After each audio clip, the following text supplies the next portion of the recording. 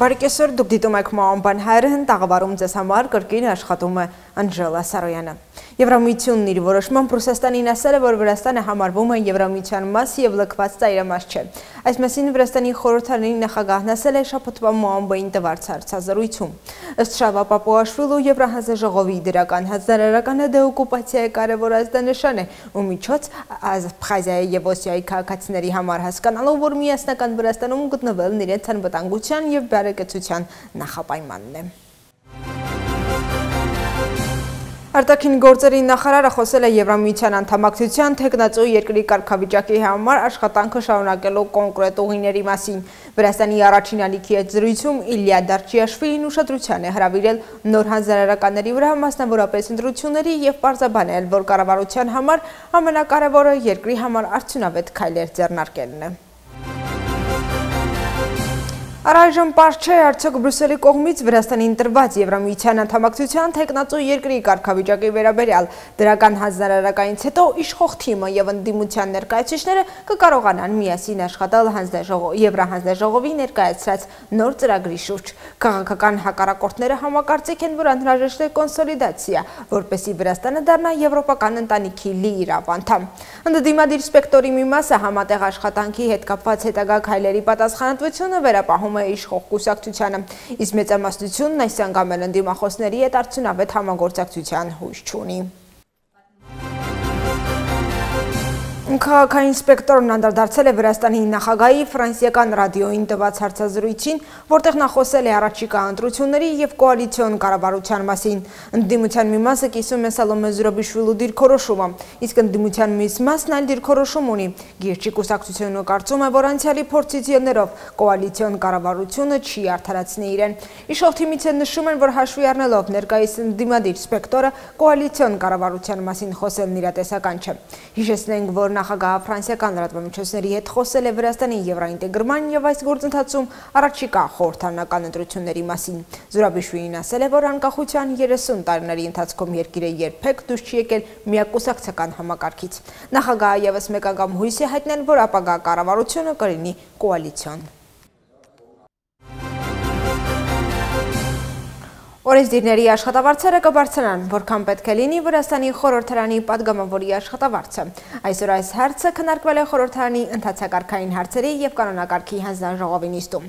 Օրինագիծը հանձնաժողովին է ներկայացրել խորհրդարանի նախագահը։ Նպատակը հաջորդ գումարման խորհրդարանի падգամավորների աշխատավարձը 2017 թվականին պետական ծառայությունում վճարվող գործակիցներին համապատասխանեցնելն է։ Նախաձեռնված փոփոխությունների համաձայն հաջորդ գումարման խորհրդարանում падգամավորի աշխատավարձը տտանվելու է 8-ից 10 հազար լարիի սահմաններում։ Շալվապապու աշխվելու խոսքով ստեղծված իրավիճակում խորորդարանի անդամներն ավերիցյա ծրաշխատավարդություն են ոչ միայն այլ գերատեշտությունների պաշտոնյաների, այլ նաև բուն խորորդարանի ապարատում աշխատող պաշտոնյաների համեմատ։ Բաբախություններն ուժի մեջ կմտնեն 2025 թվականի հունվարի 1-ից հաջորդ գումարման խորորդարանի պատգամավորների համար։ Արդեն 38 օր է, ինչ Իսրայելի և Համասի միջև շարունակվում է զինված հակամարդությունը։ Առողջապահության համաշխարհային կազմակերպությունից հայտնում են, որ մշտական գնդակոծությունների եւ հրթիռակոծությունների պատճառով Գազայի Ալ-Շիֆա հիվանդանոցն այլևս չի գործում։ Իսրայելի պաշտպանության բանակից նշում են, որ իրենք հիվանդանոց են հասցրել 300 լիտր վառելիք հրատապ բժշկական նպատակներով, սակայն Համասը թույլ չի տվել բժշկական կենտրոնին ստանալ այն։ Իսրայելի նախագահ Իսահակ Հերցոգը նշում է, որ Համասը բազա ունի շենքի տակ, ինչը Համասը հերքում է։ Կարմիր խաչի միջազգային կոմիտեն հայտարարում է, որ Գազայի հատվածում իրավիճակը մոտենում ներկայացնում է հումանիտար աղետի։ Համասի առողջապահության նախարարության տվյալներով Գազայում զոհվել ավելի քան 11000 մարդ, որոնցից ավելի քան 4500-ը երեխա է։ ԱՄՆ-ն ցանկանում է կանխել զինված հակամարտությունը Գազայի հատվածի հիվանդանոցներում եւ այդ մասին տեղեկացրել է Իսրայելի պաշտպանության ուժերին։ Այս մասին ասել է ԱՄՆ նախագահի ազգային անվտանգության հարցերով խորհրդական Ջեյք Սալիվանը։ Նրա պարզաբանմամբ ԱՄՆ-ն անում է ամեն ինչ եւ հետագայում էլ ջանք չի խնայի պատաններին վերադարձնելու համար։ ԱՄՆ-ն մտահոգված է Գազայում հումանիտար ճգնաժամով հայտարարել է Ժոզեֆ Բորելը։ Եվրամիությունը միանում է ռազմական գործողությունների անհապաղ դադարեցման եւ հումանիտար միջազգների ստեղծման կոչերին, այդ թվում սահմանային անցակետերի ու հատուկ ծովային ուղղությունների ավելացումը, որպեսզի հումանիտար օգնություն ապահով կերպով հասնի բնակչությանը։ Եվրամիությունը եւս մեկ անգամ ընդգծում է Իսրայելի իրավունքը պաշտպանվելու միջազգային իրավունքին ու միջազգային մարդասիրական իրավունքին համապատասխան։ Ժոզեֆ Բորելի հայտարարության մեջ նշվում է, որ Եվրամիությունը շարունակում է կոչանել Համասին անհապաղ եւ անվերապահորեն ազատարձակել բոլոր պատաններին եւ պատաններին Կարմիր խաչի միջազգային կոմիտեին հասանելիություն տրամադրել։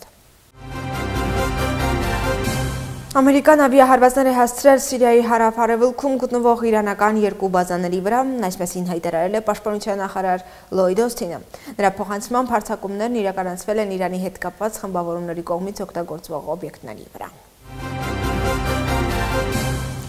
Ուկրաինայում եւս պատերազմը շարունակվում է վերջին 24 ժամվա ընթացքում Ռուսաստանի հարձակումների հետևանքով Խերսոնի շրջանում զոհվել է 1 մարդ, իսկ Դոնեցկի մարզում վիրավորվել 3-ը։ Ըստ ԶԼՄ-ների Նավդեևկայի ուղությամբ տեղի ունեցել 69 ռազմական բախում, այդ թվում 7 հրթիռային, 34 օդային եւ 59 բազմակի հրթիռային համակարգերով։ Հրետանային կրակի թիրախ են դարձրել Չերնիգովի, Սումի, Խարկովի, Լուգանսկի, Դոնեցկի, Զապորոժիա եւ Խերսոնի շրջանների ավելի քան 110 բնակավայրեր։ Սրա հետ մեկտեղ պատերազմի ուսումնասիրման Սիլվան ինստիտուտի փորձագետները նշում են, որ Ուկրաինան ուժեղացնում է իր հարձակումները բռնագրաված տարածքների վրա։ Իր ամենօրյա տեսա ուղերձում Վոլոդիմիր Զելենսկին նշել է, որ Ռուսաստանը պատրաստվում է ձմռանը եւ Ուկրաինան պետք է կենտրոնանա ինքնապաշտպանության վրա։ Եվ այս թորկման ավարտին երեկ երեկոյան Թբիլիսիի միջազգային օթանավակայանում աղմուկ էր բարձացել։ Պաճառը Միացյալ ազգային շարժում եւ Շինարարի ռազմավարություն կուսակցությունների քաղաքական խորհրդատու Մեծ Բրիտանիայի քաղաքացի Բեն Մալետին, որն ըստ ընդդիմադիր կուսակցությունների առաջնորդների թույլ չեն տվել մուտք գործել Վրաստան։ Նրանց կարծիքով դրա պատճառը ընդդիմադիր ուժերի հետ նրա կապն էր։ Ըստ քաղաքական գործիչների Բեն Մալետ նորեր առաջ եղել է Վրաստանում եւ ամենամեծ ընդդիմադիր կուսակցության գրասենյակում տարբեր հարցերի շուրջ խորհրդակցություններ է անցկացրել։ Թբիլիսիի միջազգային օթանավակայանում էին գտնվում Միացյալ ազգային շարժման նախագահ, գլխավոր քարտուղարը եւ մյուս անդամները։ Այժմ համար նախատեսել էինք այսքանը, ես ձեզ հրաժեշտ եմ տալիս մինչ վաղը, իսկ դուք մամբային կարող եք հետևել ժամը 18:00-ից։ Շնորհակալություն ուշադրության համար, եղեք առողջ, աշխարհին էլ խաղաղություն։